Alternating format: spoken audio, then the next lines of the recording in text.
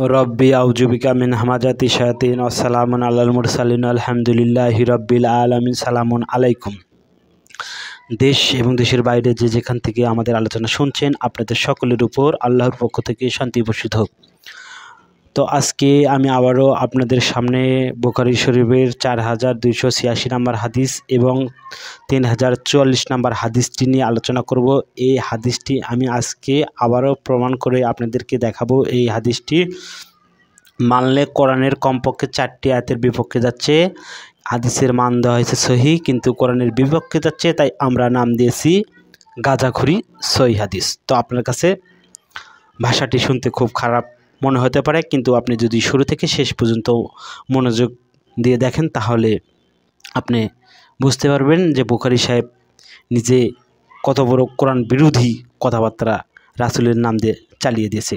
তো আর আপনার যদি আমার আলোচনার উপর কোনো কমেন্ট থাকে, তাহলে আপনি কোরআনের আয়াত দিয়ে আমার সাথে কথা বলবেন এবং আমাকে কমেন্ট করবেন। এছাড়া আপনি মন গড়া গালাগালি করলে আপনার গোনার খাতায় আরও গোনাযোগ হবে। তো আপনি কোরআনের আয়াত দিয়ে আমাকে ধরিয়ে দিন প্রয়োজনে আমি ভিডিওটি ডিলিট করে দেবো। তো এক শ্রেণির মোল্লারা আছে, এই হাদিসগুলো তারা মানুষদেরকে শুনিয়ে থাকে এবং তারা এই হাদিসগুলো বলে ওয়াজ করে টাকা কামাচ্ছে। যে ব্যবসায় কোনো লস নেই, ধর্ম ব্যবসা করে যাচ্ছে তারা। যে ব্যবসায় তাদের কোনো পুঁজি খাটাতে হয় না, তারা মূলত এই হাদিসগুলো প্রচার করে কিছু কোরআনের আয়াত প্রচার করে তারা ইনকাম করে যাচ্ছে। দিব্যিভাবে সাধারণ মানুষ তো জানে না। তো আমরা টাকা কারও কাছে চাই না, কারও কাছে নিব না। আমাদের কোনো অর্থর প্রয়োজন নেই। আমরা শুধুমাত্র অমা আলাইনা ইন্নাল বালাগুল মবিন, যে আমাদের দায়িত্ব শুধুমাত্র আল্লাহর এই বাণীগুলো মানুষের কাছে সত্য তুলে ধরা এবং প্রচার করা। তো চলুন আমরা কথা না বাড়িয়ে সেই হাদিসে চলে যাই। যে হাদিস কোরআনের বিপক্ষে যায়, তো আপনি বের করুন সহি বোকারি শরীফের চার হাজার দুইশো ছিয়াশি নাম্বার হাদিস। আনাস ইবনে মালিক থেকে বর্ণিত হাদিসটি। দেখুন এখানে কী বলাচ্ছে, এই হাদিস অনুবাদ আমি করিনি, আমার দাদাও করেনি, আমার নানাও করেনি, যারা অনুবাদ করতে জানে তারা করেছে সেই সেই হাদিসগুলো থেকে আমি আপনাদেরকে পড়ে শোনাবো। তা আপনি শুনুন, এখানে কি বলা হচ্ছে, মক্কা বিজয়ের দিন নবী সাল্লা সাল্লাম মাথায় হেলমেট টুপি পরিণত অবস্থায় মক্কায় প্রবেশ করেছেন। তিনি সবেমাত্র টুপি খুলেছেন। এই সময় এক ব্যক্তি এসে বললেন, ইবনু খাতাল কাবার গিলাপ ধরে দাঁড়িয়ে আছেন। নবী সাল্লাহ সাল্লাম বললেন, তাকে হত্যা করো। ইমাম মালিক রাদিয়াল্লাহ তালা বলেছেন, আমাদের ধারণা মতে সেদিন নবী সাল্লাহ সাল্লাম ইহরাম অবস্থায় ছিলেন না। তবে আমাদের চেয়ে আল্লাহ ভালো জানেন। তো দর্শক এই হাদিস আমরা আরও দেখব। একই ধরনের হাদিস আপনারা পাবেন সহি বোকারির তিন হাজার চল্লিশ নম্বর হাদিস, একই ধরনের বক্তব্য এখানেও আছে। তো এর কিছু ব্যাখ্যা স্বরূপ আমরা আরেকটি হাদিসে দেখব। এই হাদিসের নাম হচ্ছে সামাইলে তিরমেজি, হাদিস নাম্বার হচ্ছে চৌরাশি। অনেকে বলতে পারেন যে আপনি তো ব্যাখ্যা জানেন না, এটা কি কারণে হত্যা করা হয়েছে? তো চলুন আমরা সেই ব্যাখ্যাটি একটিও দেখে নিই। তো সহি হাদিস কিন্তু এটিও। তো আপনারা সামেলে তিরমিজি শরীফের, এটি আপনারা দেখবেন চৌরাশি নাম্বার হাদিস। আমরা প্রথমের অংশ দেখব না, প্রথমের অংশ আপনি দেখুন, একই কথা বলা হয়েছে যে হাদিস আমি বোগারি শরীফ থেকে দেখালাম। তো আমরা শুধু নেব ব্যাখ্যা। এখানে ব্যাখ্যা ইবনে খাতালকে যে কারণে হত্যা করা হয়। তো ব্যাখ্যাটি দেখুন, এখানে কি বলা হচ্ছে? জাহিলি যুগে তার নাম ছিল আব্দুল উজ্জা। সে মদিনায় এসে ইসলাম কবুল করলে তার নাম রাখা হয় আবদুল্লাহ। রাসুল সাল্লাহ সাল্লাম তাকে এক এলাকায় জাকাত আদায় করার জন্য নিযুক্ত করেন। তার সহযোগী একজন মুসলিম গোলাম ছিল। খাবার তৈরি করতে একটু দেরি হয় সে ক্ষিপ্ত হয়ে গোলামটিকে মেরে ফেলে এবং পালিয়ে মক্কায় গিয়ে ধর্মত্যাগী বা মোরদাত হয়ে যায়। তাই মক্কা বিজয়ের দিন এই পাপিষ্টর মৃত্যুদণ্ড কার্যকরা হয়। কোনো অপরাধী কাবার ঘরের চাদর ধরে থাকলে তাকে নিরাপত্তা দেওয়া হতো। নিয়ম অনুযায়ী নিরাপত্তার আশায় ইবনে খাতাল ওই সময় কাবার গিলাপ ধরে থাকেন। রাসুল সাল্লাহ সাল্লাম তাকে হত্যার আদেশ দিলে সাহাবিগণ তাকে জমজম কূপ ও মাকামে ইব্রাহিমের মধ্যবর্তী স্থানে এনে হত্যা করেন। দর্শক ব্যাখ্যাতে এসে আমরা আরও একটি কোরআন বিরোধী হাদিস আমরা পেলাম, সেটিও আপনাদেরকে আমি আজকে পড়ে শোনাবো এবং দেখাবো যে কত বড় ভয়ঙ্কর কথা তারা হাদিসে লিখে গেছে। আমরা যদি এই হাদিসগুলো মেনে নেই, তাহলে কোরআনের আয়াতের সাথে সাংঘর্ষিক হয়ে যায়, একদম হুবহু। আপনি দেখুন, এখানে কী বলাচ্ছে? তো আমাদেরকে যেতে হবে যে আয়াতটিতে প্রথমে সে সুরাটির নাম হচ্ছে দুই নম্বর সুরা আল বাকারার একশো পঁচিশ নম্বর আয়াত। আপনি ভাই নিজে বের করে দেখুন, আপনার হিসাব আপনাকে দিতে হবে এবং আমার হিসাব আমাকেই দিতে হবে। তো এটি আপনারা কোথায় পাবেন? সতেরো নম্বর সুরা বন ইসলামের তেরো এবং চোদ্দ নম্বর। আল্লাহ বলতেছেন, পাঠ করে তোমার কিতাব, আজ তোমার হিসাবের জন্য তুমি যথেষ্ট। তো আমার হিসাব আমাকে দিতে হবে, আপনার হিসাব আপনাকে দিতে হবে। আপনি নিজে বের বের করে আরটি মিলিয়ে দেখুন, আমি কি ভুল বলছি না মিথ্যা বলছি? আর এক শ্রেণির মানুষ আছে, তারা হাদিস তৈরি করে মানুষকে আল্লাহর পথ থেকে দূরে রাখে। সেটি আপনারা পাবেন একত্রিশ নম্বর সুরা লোকমানের ছয় নম্বর হাত আর রাসুলের শত্রু ছিল, তো শত্রুর কাজ কি ভাই? শত্রুর কাজ হচ্ছে শত্রুতা করা আপনারা দেখে নেবেন ছয় নম্বর সুরা আনামের একশো বারো নম্বর হাত তো আমরা চলে যাই সেই পূর্বের আয়াতটিতে, দুই নম্বর সুরা আল বাকারার একশো পঁচিশ নম্বর দেখুন এখানে কী বলেছে, এবং স্মরণ করো, যখন আমি কাবা গৃহকে মানুষের জন্য মিলন কেন্দ্র এবং নিরাপদ স্থল করলাম। দেখুন এখানে আল্লাহ বলতেছেন, এবং স্মরণ করো, যখন আমি কাবা গৃহকে মানুষের জন্য, দেখুন মানুষের জন্য মিলন কেন্দ্র এবং নিরাপত্তা স্থল করলাম। এখানে দেখুন আল্লাহ বলতেছেন, তার রাসুলকে দিয়ে যে কাবা ঘরকে আল্লাহ মানুষের জন্য মিলন কেন্দ্র এবং নিরাপত্তা স্থল করেছিল। সেটি করলেন রাসুলের মাধ্যম দিয়ে, রাসুলকে দিয়ে। তো এখানে মানুষ নিরাপত্তা পাবে। এখন আল্লাহ বলতেছেন নিরাপত্তা পাবে। আর কোনো মানুষ যদি এখানে আসার পরে সে নিরাপত্তা না পায়, তাহলে কি আল্লাহ ভুল বলছেন? মাস আল্লাহ আউজুবুল্লাহ আনাকুন আমিলাল জাহিলিন।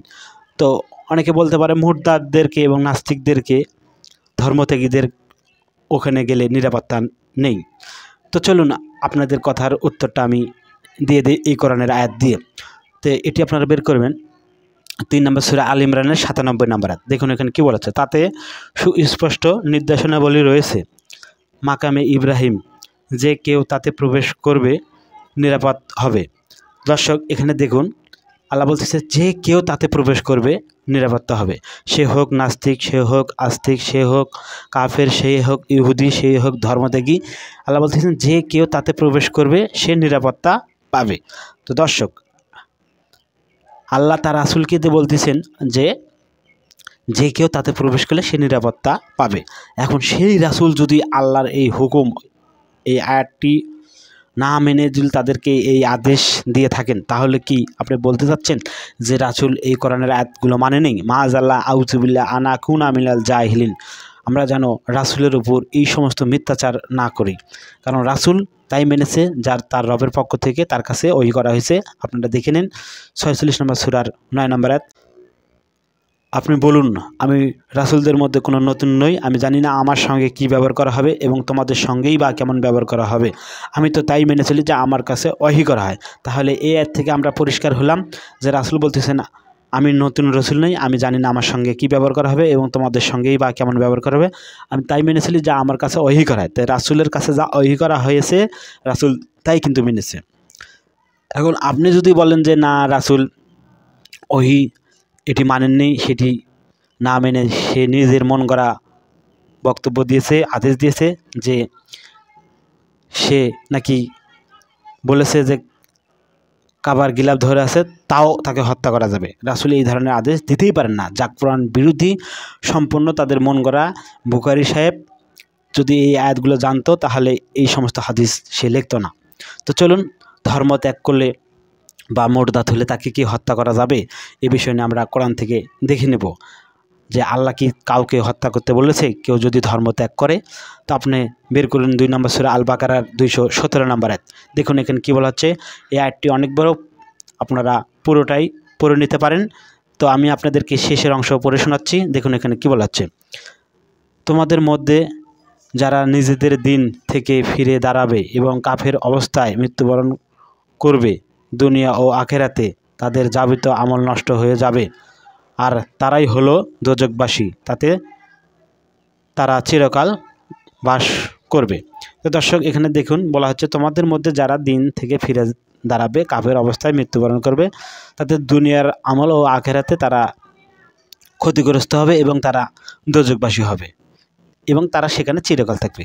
আল্লাহ কিন্তু কাউকে ধর্ম ত্যাগ করলে, দিন থেকে ফিরে দাঁড়িয়ে ফিরে গেলে তাকে কিন্তু হত্যা করার কোনো আল্লাহ হুকুম দেননি। কিন্তু বুখারি সাহেব দিয়ে যাচ্ছে, তাও আবার রাসুলের নাম দিয়ে তো আপনি আরও বের করুন, পাঁচ নম্বর সুরা মাইদার চুয়ান্ন নম্বর। হে মমিনগণ তোমাদের মধ্যে যে স্বীয় ধর্ম থেকে ফিরে যাবে অচিরেই আল্লাহ এমন সম্প্রদায় সৃষ্টি করবেন যাদেরকে তিনি ভালোবাসবেন এবং তারা তাকে ভালোবাসবেন। দেখুন এখানে কি বলা হচ্ছে?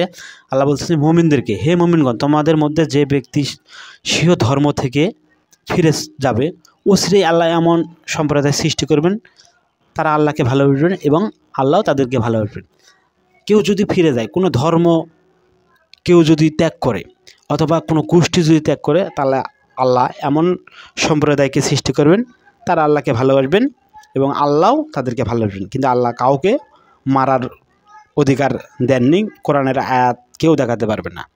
তো মূলত তারা হাদিসের মাধ্যম দিয়ে এগুলো বলতে পারবে। তাছাড়া কিন্তু কোরআনের আয়াত দিয়ে দেখাতে পারবেন না। তো আমরা দেখলাম ধর্ম ত্যাগ করলে অথবা সে যত বড় পাপিষ্ট হোক, কাবার যদি সে প্রবেশ করে কাবাতে, সে কিন্তু নিরাপত্তা দিচ্ছে আমাদেরকে, কোরআন আমাদেরকে বলে দেয়। আপনারা নিজেরাই তো দেখলেন। কিন্তু তারা রাসুলের নাম দিয়ে হাদিস লিখে রাসুলের উপর দোষ চাপিয়ে নিজেরা পার হয়ে যাচ্ছে। দর্শক, রাসুল কিন্তু কোরআনের আয়াতগুলো হুবহুব মেনেছে। তো আমরা যদি এই হাদিসগুলোকে আমরা ছই ধরে নিই, তাহলে কোরআনের আয়াতগুলো কী হবে? আপনাদের কাছে আমার প্রশ্ন। কিন্তু এক শ্রেণির মানুষ আছে, তারা হাদিস তৈরি করে মানুষকে আল্লাহর পথ থেকে দূরে রাখায়। এখন এই যে বিধানগুলো, যে কাবাতে কেউ প্রবেশ করলে তাকে নিরাপত্তা দিতে হবে, কেউ যদি ধর্ম ত্যাগ করে, আল্লাহ তাকে দোজক দিবেন, তার জন্য আছে জাহান্নাম। আল্লাহ কিন্তু কাউকে হত্যা করার বিধান দেননি। তো আপনারা বিধান মানবেন কার? আল্লাহ এর নিজেই উত্তর দিয়েছেন যে বিধান শুধু চলবে আল্লাহ। সুরা ইউসুফের চল্লিশ নম্বর আয়াত। সুরা ইউসুফের সাতষট্টি নম্বর আয়াত। সুরা আরাফের চুয়ান্ন নম্বর আয়াত। যে হুকুম, বিধান শুধুমাত্র চলবে আল্লাহ আর আল্লাহর সাথে কারোরও বিধান চলবে না। আঠারো নম্বর সুরা কাপের ছাব্বিশ নম্বর আয়াত আপনারা দেখে নেবেন যে তিনি তার বিধানে, তার কর্তৃত্বে, তার হুকুমে কাউকে তিনি শরিক করেন না। তো আমরা আল্লাহর হুকুম মানব, আল্লাহর বিধান মানব। মানুষের পক্ষ থেকে কি এসেছে সেটি আমরা মানব না। সাত নম্বর সেরা আরাফের তিন নম্বরে দেখে নেবেন যে তোমরা মেনেছিল তাই তোমাদের প্রতিপালকের পক্ষ থেকে যা তোমাদের কাছে অবতীর্ণ করা হয়েছে। আর রাসুল তাই প্রচার করেছে, তার নিজের মন করা কোনো কথা প্রচার করেননি। সুরা মায়দার সাতষট্টি নাম্বার নাম্বার আয়াত আপনারা দেখে নেবেন। হে রাসুল পঞ্চের দিন আপনার প্রতিপালকের পক্ষ থেকে যা আপনার কাছে অবতীর্ণ করা হয়। তাহলে আমরা দেখলাম রাসুল তাই প্রচার করেছে, তাই মেনেছে। এবং রাসুল কোরআন দিয়ে মানুষকে সতর্ক করেছে, উপদেশ দিয়েছে। পঞ্চাশ নম্বর সুরার পঁয়তাল্লিশ নম্বর আয়াত আপনারা দেখে নেবেন। কারও কথায় আপনাকে বিশ্বাস করার যাবে না আর। কারণ আপনাকে এখন মানতে হবে তাই যা রবের পক্ষ থেকে এসেছে। তো আমি আজকে আপনাদেরকে আবারও প্রমাণ করে দেখিয়ে দিলাম যে এই হাদিসগুলো কোরআন বিরোধী। তো এখন আপনি বলতে পারেন যে এটি তো জাহিলি যুগে তারা এই হুকুমটি পালন করেছে। রাসুল দিয়েছে। তো ভাই, জাহিলি যুগে যদি রাসুল দিয়ে থাকে, তাহলে তো আয়াত নাজিল হওয়ার পরে সেই হাদিসগুলো তো আর সই থাকতে পারে না। সেই হাদিসগুলো সম্পূর্ণ হবে কোরআন বিরোধী। তো এই হাদিসগুলো সহি বোকারি শরীফে কেন সে বোকারি সাহেব জমা করে রাখল? এবং সে হাদিসগুলোর নাম দিয়েছে সে সহি হাদিস। তো কোরআন বিরোধী যে হাদিস হয়, সেটি আবার কখনো সহি হতে পারে? তো জাহিলি যুগে হয়তো বা রাসুল দিয়েছেন, আপনাদের কথা আমি ধরে নিলাম। কিন্তু আয়াত নাজিল হওয়ার পরে তো সে হাদিস কখনো সই হতে পারে না। আপনাদের বিবেকের কাছে আপনি প্রশ্ন করুন, তাহলে বিষয়টি আপনার কাছে পরিষ্কার হয়ে কারণ শয়তান কিয়ামত পর্যন্ত সময় চেয়েছে, আল্লাহ তাকে দিয়েছে। আর যারা কোরআন থেকে বিমুখ থাকে, তাদের পিছনে আল্লাহ শয়তান নিযুক্ত করে দেন। সুরা জুগরুপ সের ছত্রিশ নম্বর আয়াত, আপনারা দেখে নেবেন, তেতাল্লিশ নম্বর সুরার ছত্রিশ নম্বরে যে রহমানের জিকির থেকে, অর্থাৎ কোরআন থেকে বিমুখ থাকে, তার পিছনে আল্লাহ শয়তান নিযুক্ত করে দেন। সে হয় তার সঙ্গী। এরপর সে যা করে, মনে হচ্ছে যে তাই সে আল্লাহর পথে আছে। তো দর্শক, আমরা আপনাদেরকে আবারও প্রমাণ করে দেখিয়ে দিলাম। কিন্তু এক শ্রেণির মোল্লারা এই হাদিসগুলো পড়েই তারা আবার কিন্তু সাইকুল হাদিস হচ্ছে। তারা হতে থাক, তাতে কোনো সমস্যা নেই।